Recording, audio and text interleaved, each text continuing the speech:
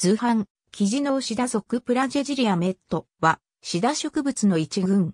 単独で、キジノウシダ科を構成する。単雨状服用の葉には二形成が明瞭で、毛や鱗片を一切生じない。この類は、形態的には、共通点が多く、よくまとまっている。以下のような特徴を共有する。中型以下の地上性、多年性双本で、常緑性、または火力性。根茎は短く直立、または斜上するが、補腹茎を伸ばすものもある。茎の表面には古い葉の基部が残り、根を多数つけて大きな株になる。茎や傭兵など、植物体表面に毛や鱗片などを全く生じない。ワカメが粘液を出す性質がある。葉には栄養用と胞子用の2型があり、単雨状服用。傭兵の基部は左右に広がって断面は三角形になり、覆面の基部に通気口がある。これは見かけ上は突起の形になる。単雨状の栄養用の右辺は滑らかか挙手がある程度で深く切れ込むことはない。葉脈は有利し、つまり先端でくっついて網状になることはない。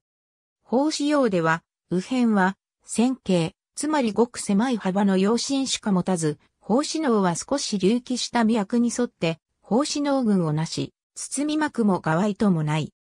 胞子脳には、艦隊があるが、高等なシダでは、胞子脳を垂直に断ち切った方向に一周しているのに対して、この類では、斜めの位置を一周している。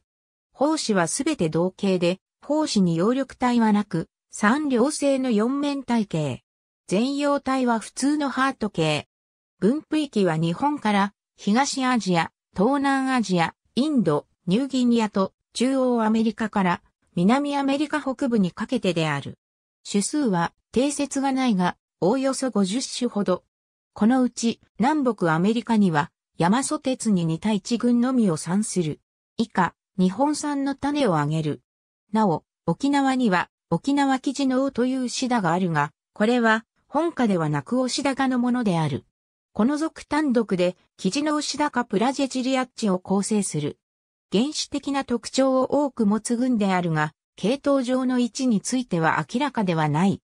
外形的な特徴から獅子頭科や蓬莱シダ科の岩金ゼンマイなどと結びつける説もあったが、これは特定の形質の類似だけに基づくものである。植物体に毛も鱗片も持たないこと、傭兵の基部の構造、ワカメが粘液を出すことなどは、ゼンマイ科と共通する特徴で、その類縁性を認める説も一定の支持を受けてきた。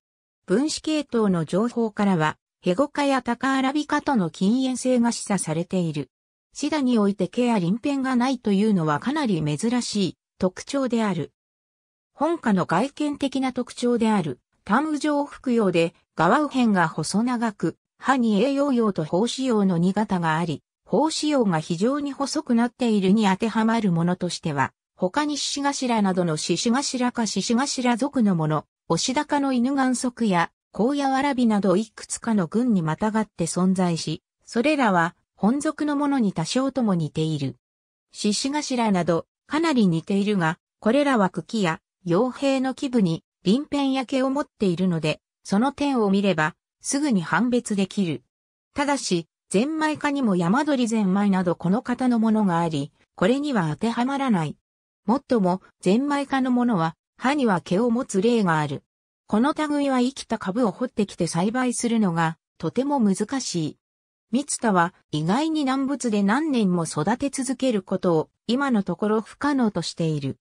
以下、種として岩付編 P75 田村 P73 岩付編 P75 岩付編 P75 から77田川 P68 岩月編 P75 中池 P77 岩月編 P75 三田 P76。